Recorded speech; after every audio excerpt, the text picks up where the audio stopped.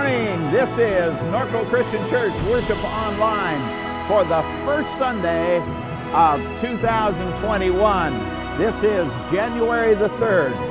I am so glad to have you join us today. I am going to begin continuing my series of messages through the book of Hebrews, beginning at chapter 11, where I left off before the holiday seasons last year the gospel according to Hebrews from a cowboy's perspective. What does a cowboy do when he is surrounded by vigilant peers? We're going to be talking about that subject as we consider the walls of Jericho today. We're glad to have you with us. God bless you, and we'll begin our service here in just a moment.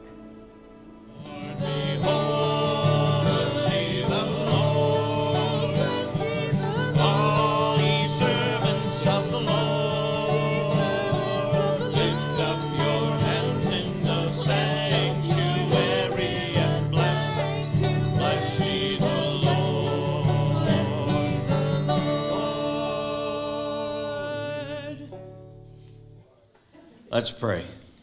Father in heaven, we thank you for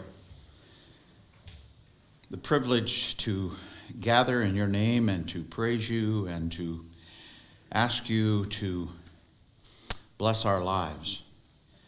Most of all, Lord, to give us strength and power to follow your will, to follow your word, to become knowledgeable about your word and to allow you to guide and direct our lives. So, Lord, we have come together to be encouraged, to be strengthened, and to be motivated to live for you. Lord, we ask that your presence might be with us now as we share these moments together. For it is in Jesus' name I pray. Amen. Amen. It is so good to have you here today we have uh, a lot of people missing for various reasons, um, one of which is COVID 19. we have a couple of families that are missing because they know they'd been exposed. They're not sick yet, that they know of, but uh, they are being cautious and not being here because during the Christmas holidays, they had some of their other family who evidently did test positive. So we have a couple of families that are gone because of that. So uh, we, I appreciate so much your being here today.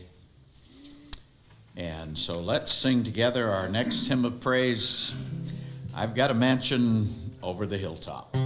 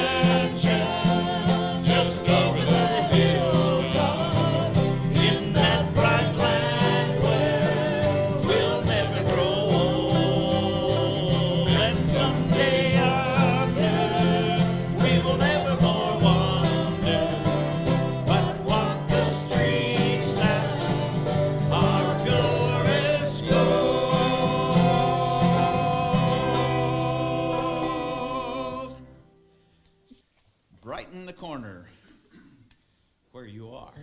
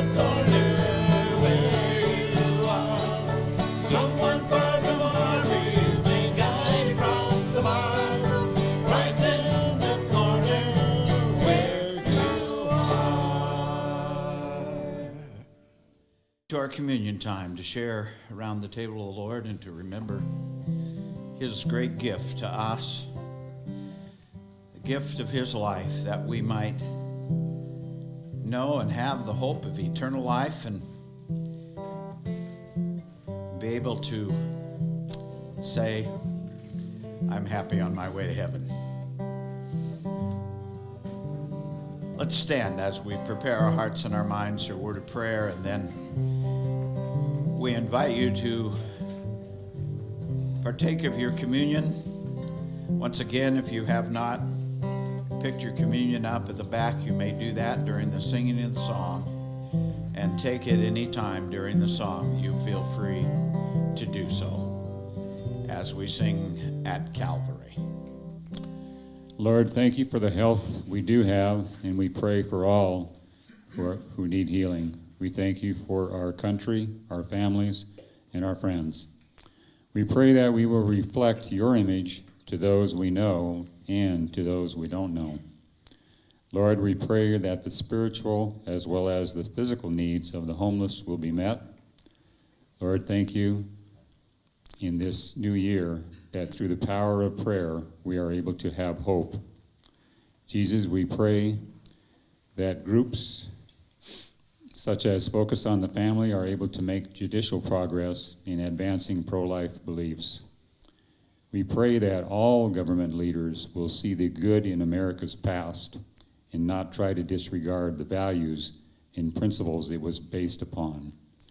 Thank you for Pastor Alton's leadership, all that are, all that are a part of our church, and those who may join us in this new year. In Jesus' name we pray. Amen.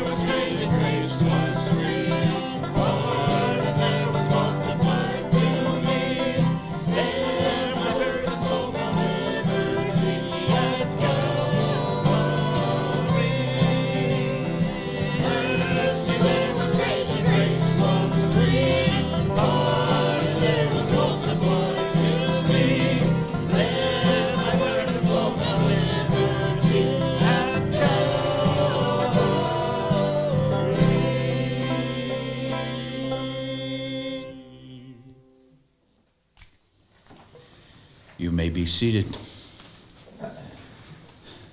Oh, let me say thank you. Thank you for being here On this, the first Sunday of 2021, all of you can gloriously say you have been here every Sunday of 2021. Ah, it's great to begin a new year. And we, with who with unveiled faces all reflect the Lord's glory, are being transformed into his likeness with ever increasing glory, which comes from the Lord. Our theme for 2021, I will get into the theme scripture later in a week or so. But today, I want to continue with and over the next few weeks finish my series through the book of Hebrews. I have not forgotten about the rest of that book, uh, but I took some time off during the holidays to uh, preach from more current uh, calendar events. And so, um, before I get too far away from the book, I do want to take some time to finish that. There is a, still a lot to cover.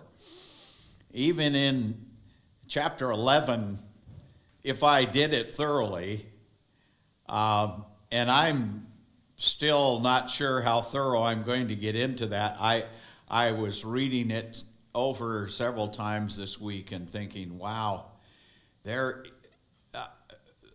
the writer of Hebrews covers a great deal of history uh, in that one chapter just by mentioning names.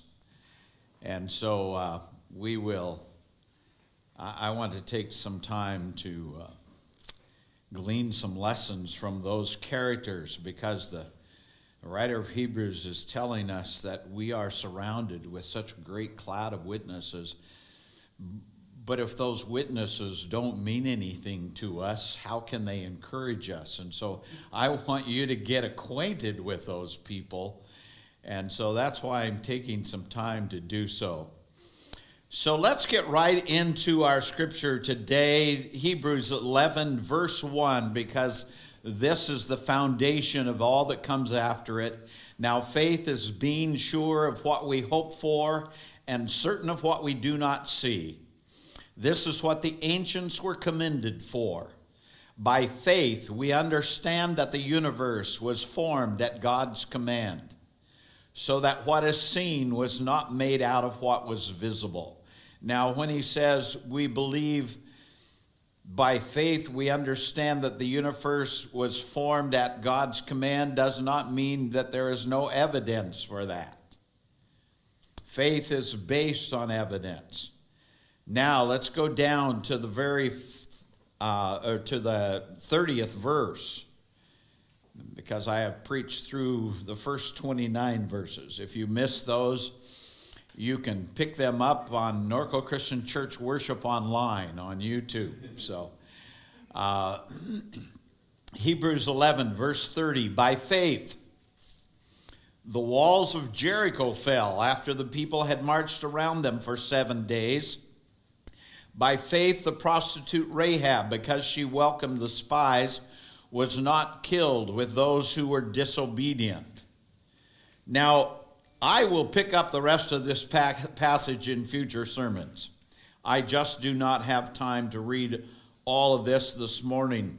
I, I, as I prepared my sermon, I had three points, and then after I got finished with my first point, I decided that already was too long for one sermon. So you're going to get the first point with three lessons from it.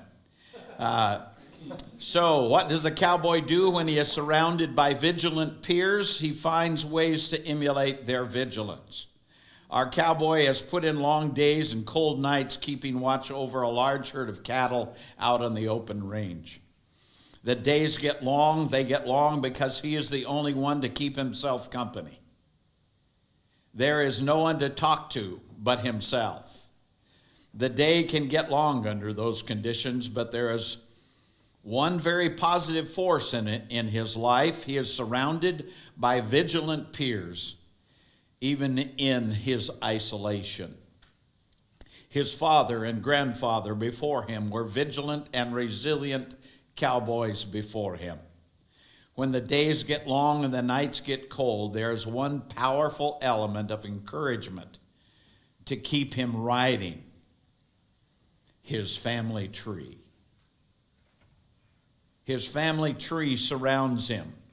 His father and grandfather have traveled that path before him. Now, what would he do in the face of trying times? The real question, I suppose, would be what would we do when we understand that we are surrounded by vigilant peers? Vigilant peers of faith. Here in Hebrews 11, God surrounds us with vigilant peers. The first thing that we do to emulate the vigilance of our spiritual peers is to obey God even when the outcome seems improbable. That's what the walls of Jericho are all about. By faith, the walls of Jericho fell after the people had marched around them for seven days. The people of Israel believed God and obeyed his instructions even when the outcome seemed improbable. For some of you, the story of Jericho is so familiar that you need no reminder of the biblical facts that go with that city. For others, you may need some reminder. You may not remember or know much about it, but for the sake of this sermon this morning, it is important that I remind every one of us of the facts that make the city of Jericho and the people of Israel so important. The story of Jericho is one of the spiritual highlights of Israel's experience with God, partly because they were still following His word his instructions. Joshua is about to lead the Israelites across the Jordan River. They were ready to march into the land of Canaan, a land that God had promised they would inherit if they were obedient to him. But before they crossed the river, Joshua knew there was a barrier that would keep them from going very far, and that was the city of Jericho. So Joshua appointed a couple of spies to go spy out the land, and especially the city of Jericho. So the two spies forded the river of Jordan at flood season and went to the city of Jericho. And lo and behold, you would not believe it, but they found shelter and safety in the middle of the town in a very unlikely place in the house of a Jericho prostitute by the name of Rahab. We will talk more about Rahab later because her name is also listed in this list of famous faithful in Hebrews 11. Eventually, these spies were able to return to the Israelite camp and inform Joshua about the conditions they faced on the road ahead. And this is what Joshua, uh, what the spies told Joshua. This is going to be a breeze. Because the people in this land have heard the stories of how God helped us across the Red Sea and what happened to the Egyptian armies. And the people are melting is the word they used. The people are melting at the thought of our presence. And so God works another miracle and causes the Jordan River to stop before their very eyes as the water piles up before them at the flood stage of the year. And the people once again walk across the dry ground. And so the scripture says in Joshua, the third chapter, beginning in verse 1 early in the morning, Joshua and all the Israelites set out on their way to the Jordan, where they camped before crossing over. After three days, the officers went throughout the camp, giving orders to the people When you see the ark of the covenant of the Lord your God and the priests who are Levites carrying it, you are to move out from your positions and follow it. And then you will know which way to go, since you have never been this way before. But keep a distance. Does that term sound familiar? You see, social distancing isn't a new idea. It is as old as the Word of God. And some of these young whippersnappers thought they were really telling us something.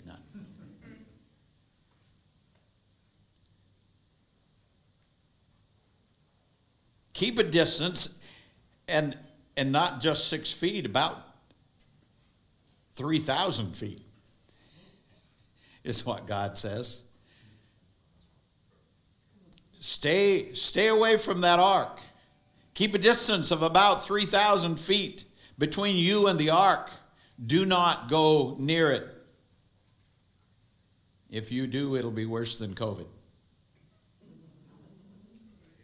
And Joshua told the people, Consecrate yourselves, for tomorrow the Lord will do amazing things among you. And then in verse, verse 14 of Joshua 3, the scripture says, So the people broke camp to cross the Jordan. The priests carrying the Ark of the Covenant went ahead of them. Now the Jordan is at flood stage, all during harvest.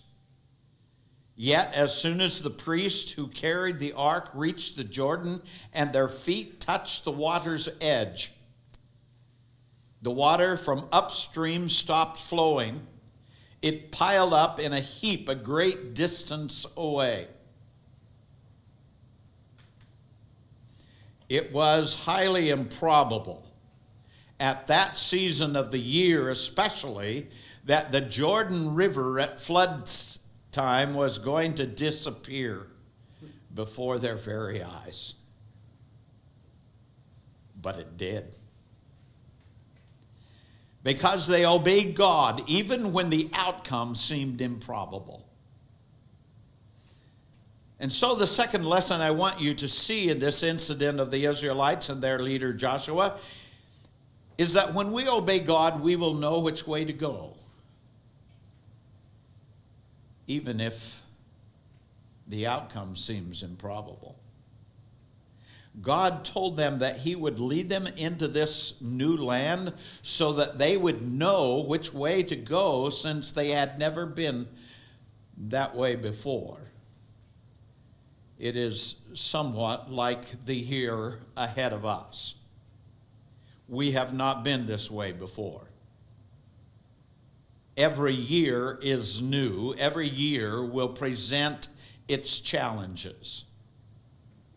Every year will give us new experiences, some of which are enjoyable and glorious, and some of which will challenge our soul. But the thing that God wants us to know is that if we follow His lead, if we follow His word, if we follow His guidance, then we will know which way to go, even though we have never been this way before. That is the ultimate secret of the Christian's hope and experience. We view the world from a different worldview because we can trust the guidance of God. We can trust that we know which way to go, even though we have not been this way before. Obeying God is always the right way to go. Even when the outcome seems improbable, we can know which way to go even though we have never been this way before when we trust God. There are more interesting facts in the Bible account of the crossing of the Jordan River, which I do not have time to recount for you this morning, but you can read them in the fourth chapter of the book of Joshua if you wish. But after several days and several other experiences, Joshua is faced with another interesting experience. In Joshua 5, verse 13, now, when Joshua was near Jericho, he looked up and he saw a man standing in front of him with a drawn sword in his hand. Joshua went up to him and asked, Are you for us or for our enemies? And the man replied, Neither but as commander of the army of the Lord I have come. And then Joshua fell down to the ground in reverence and asked him, What message does the Lord have for his servant?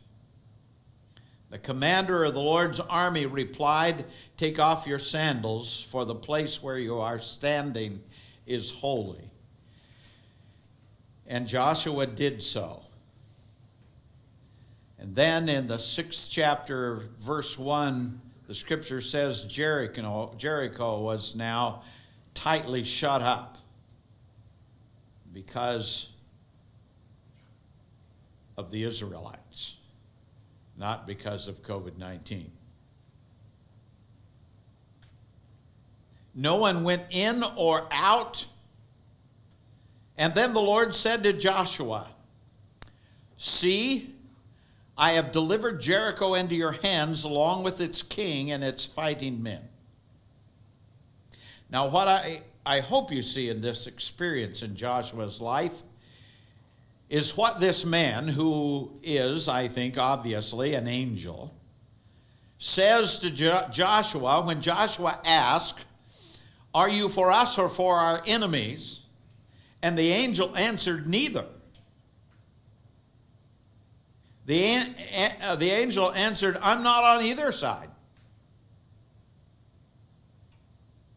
And then the angel says that he is commander of what? The Lord's army. You see, the question is not whose side is God on. The question we need to ask is are we on God's side?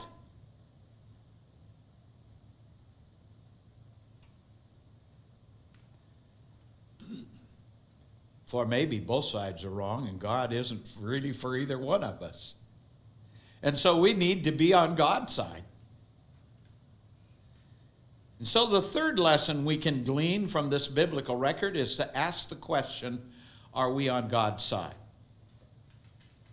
Joshua answered that question by falling, da- falling down and bowing in reverence to God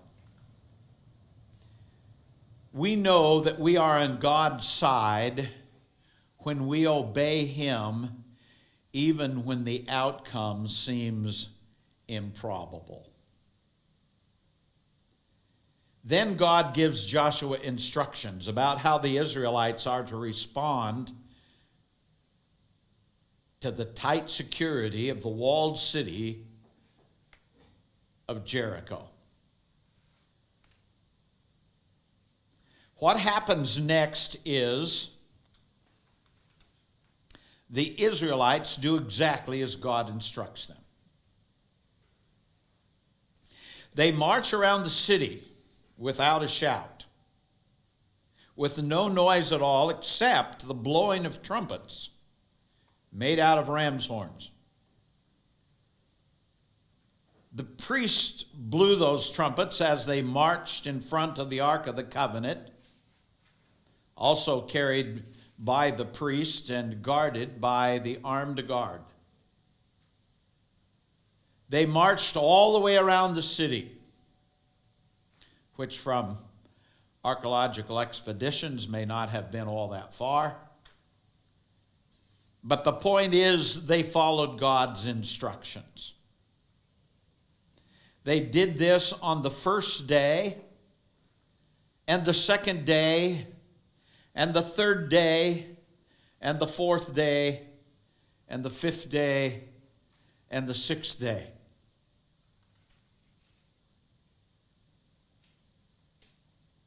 Until they had marched all the way around the city for six days in a row.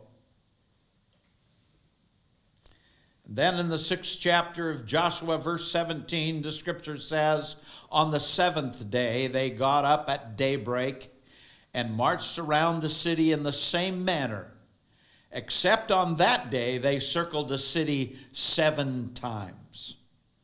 The seventh time around, when the priest sounded the trumpet blast, Joshua commanded the, the people, Shout!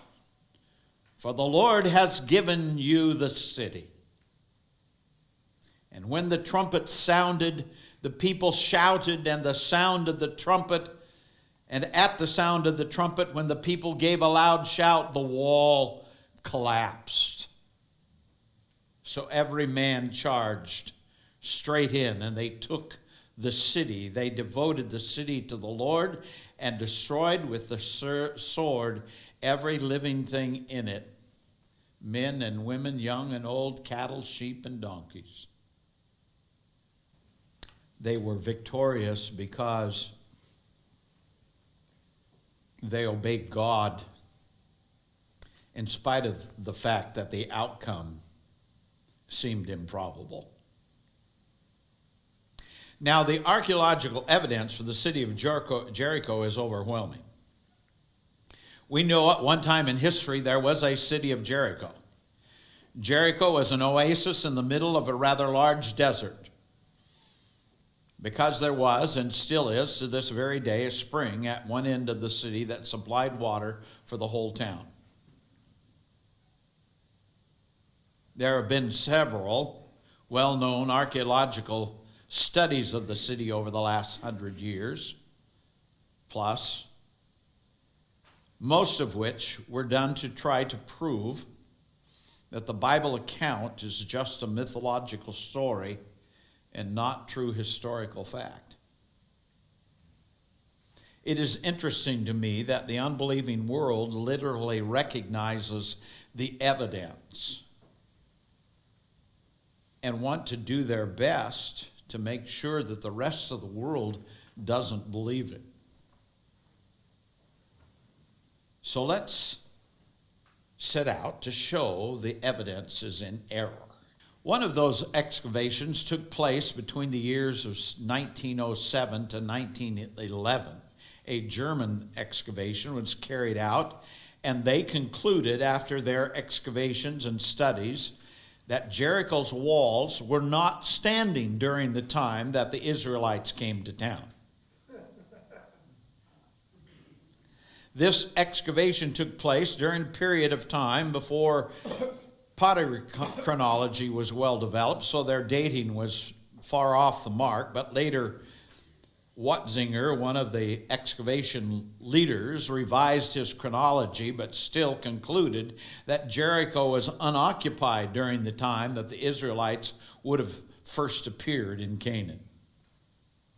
And then in the 1930s, a British archaeologist by the name of Garstang questioned the results of the German expedition and mounted an expedition of his own to go uh, gather further evidence regarding the date of the fortifications of Jericho. Garstang was the first investigator to use modern archaeological methods at the site. In short, because I don't have time to give you all of the details, Garstang concluded that indeed the city of Jericho was occupied and fortified during the time that the Israelites came to town. But Garstang's conclusions precipitated a lot of controversy from his colleagues. And so in the 1950s, another British archaeologist by the name of Kathleen Kenyon headed up another campaign at the ruins of Jericho. Her findings were almost entirely based on what she did not discover rather than on what she did discover. What she did not find was a certain type of expensive pottery that would have dated the time as being the period in which the Israelites' presence were in the land of Canaan.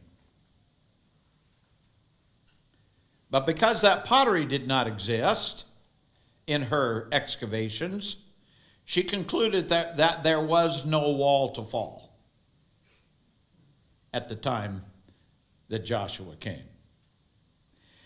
And so the story of the Bible is myth and fiction.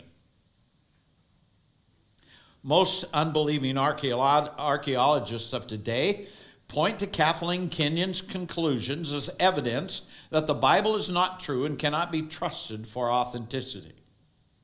After all, if Jericho can be proven to be a myth, then the rest of the scripture must be also.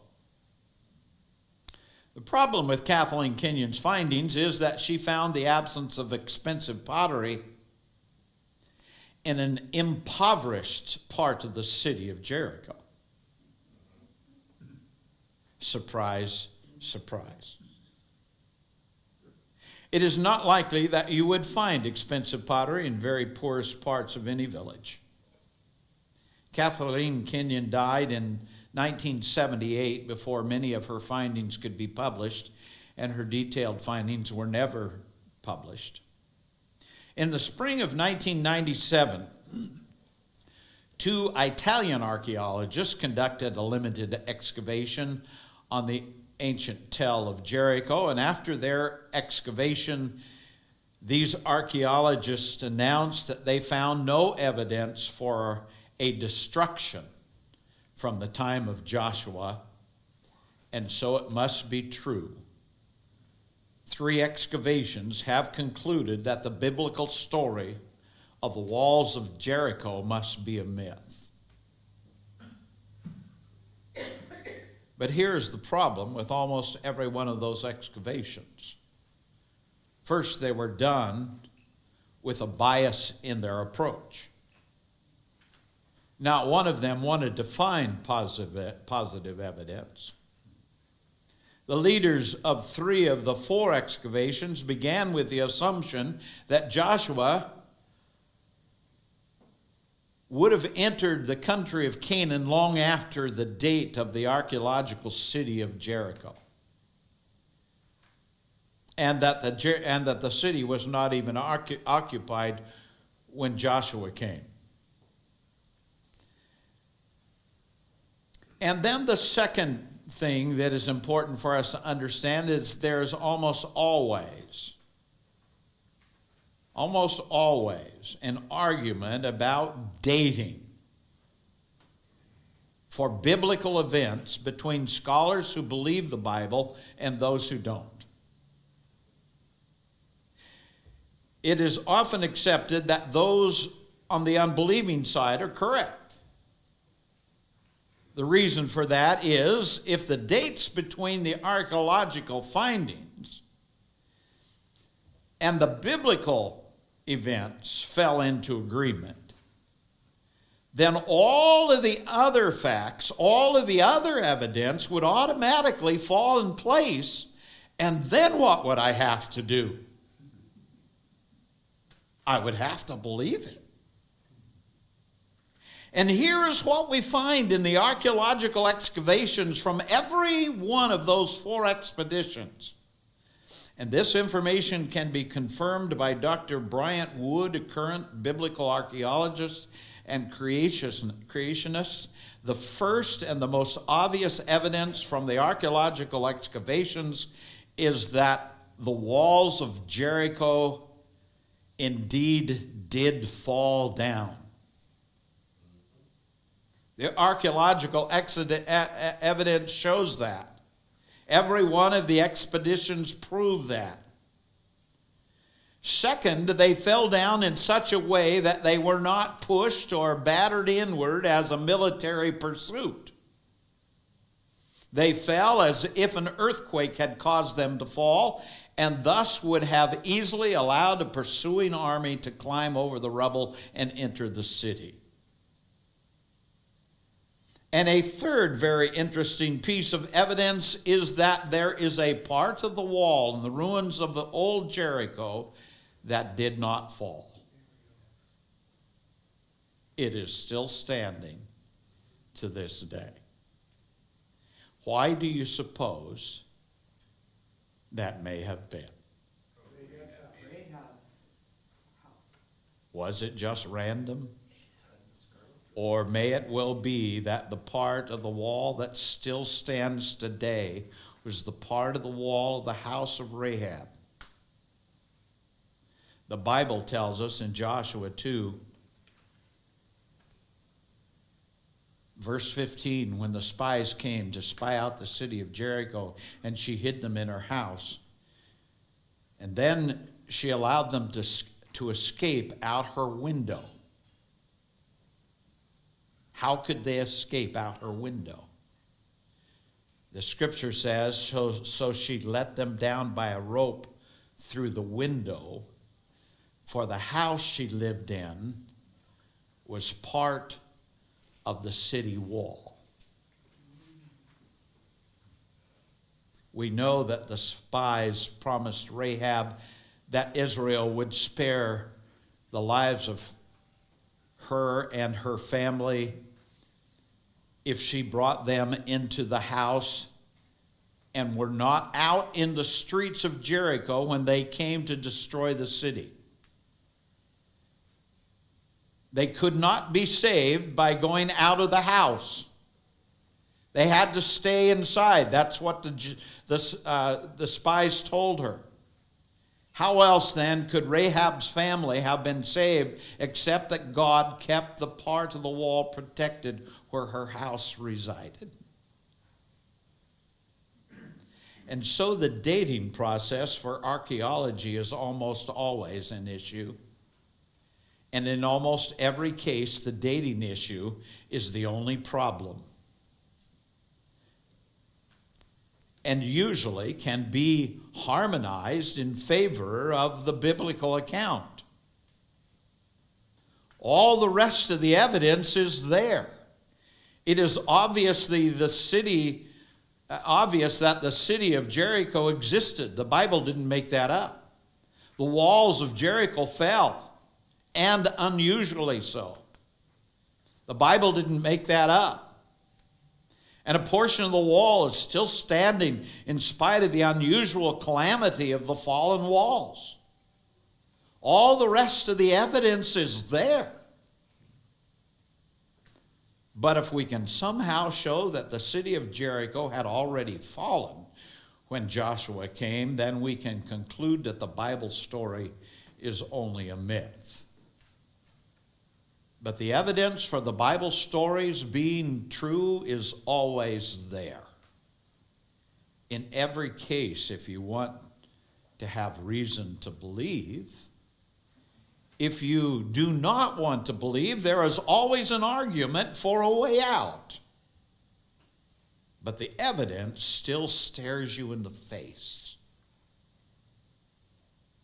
If you're looking for an improbable outcome, then obey God.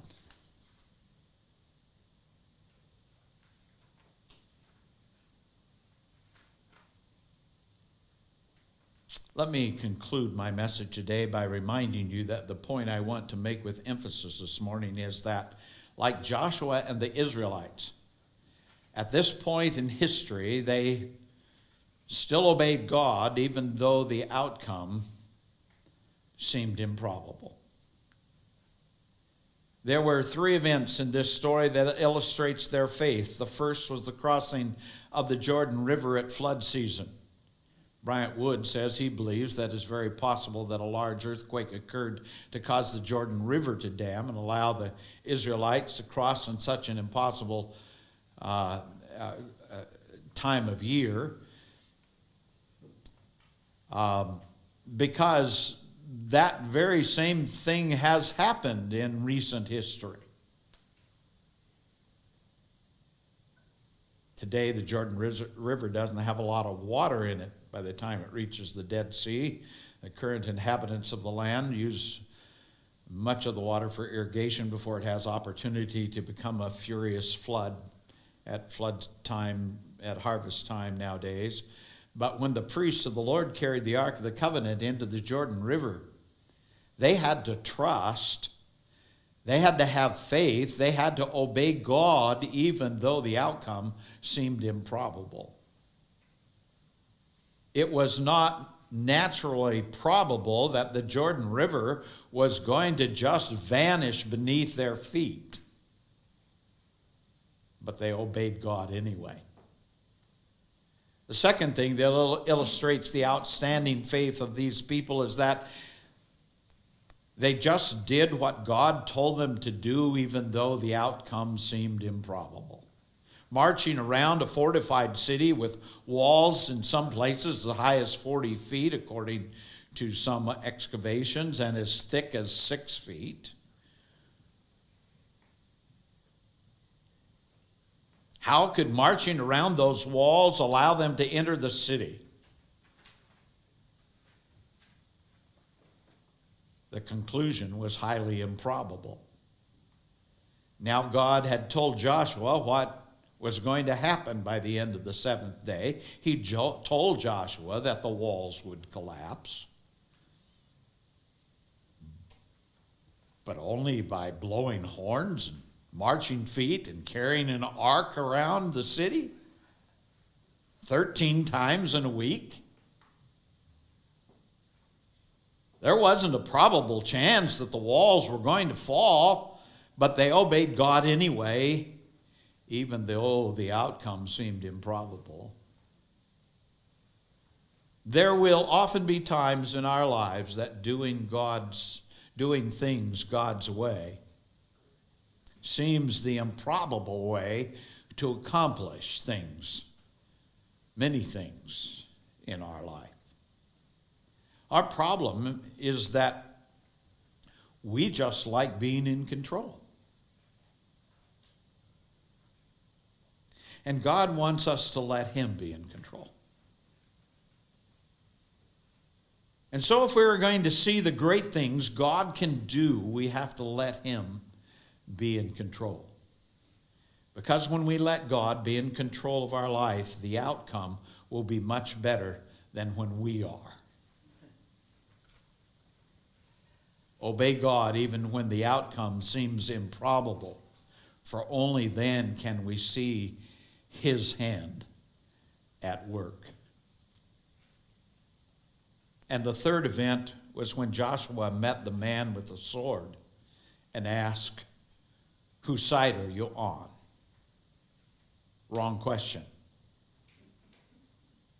The question is to understand that God isn't on anybody's side. The need is that we are on His.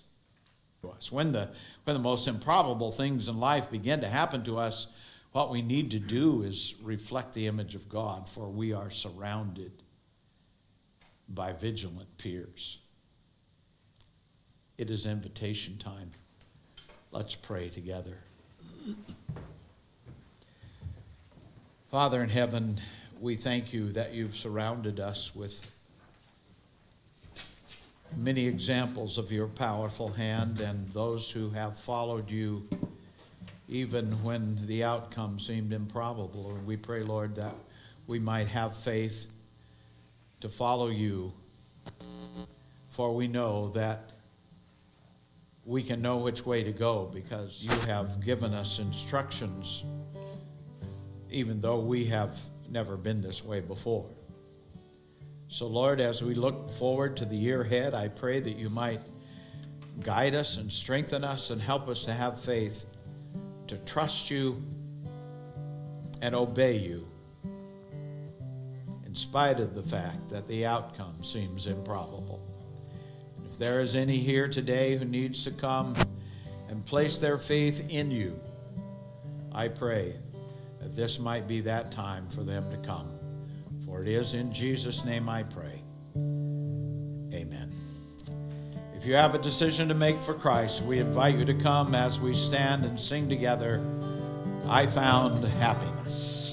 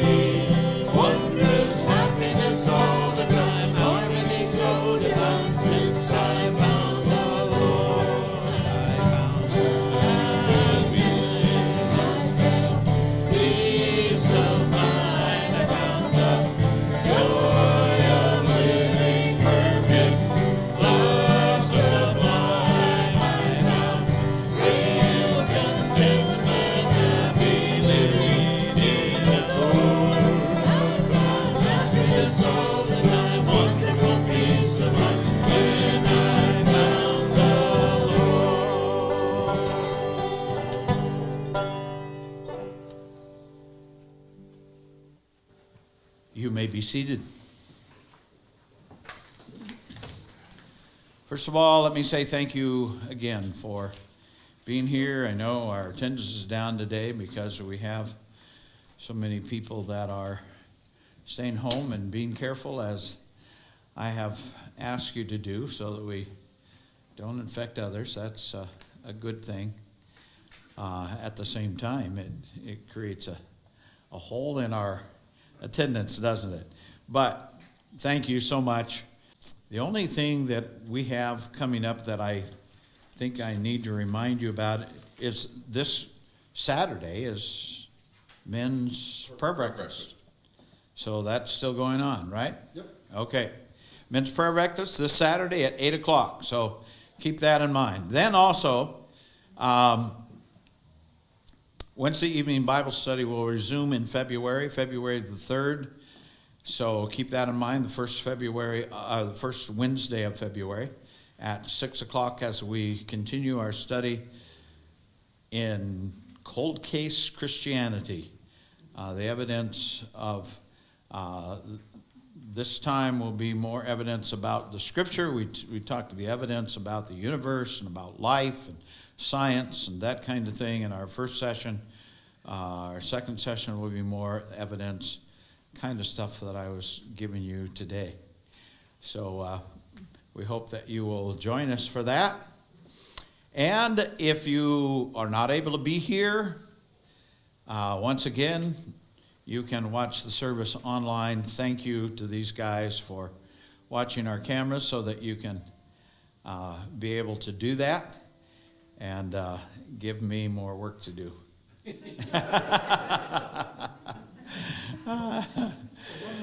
okay, let's stand and sing together, leaning on the everlasting arms.